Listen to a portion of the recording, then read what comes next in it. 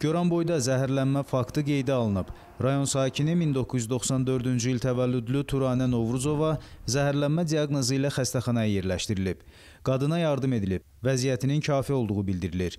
Məlumata görə Novruzova yaşadığı evin vanna otağında dəm qazından zəhərlənib.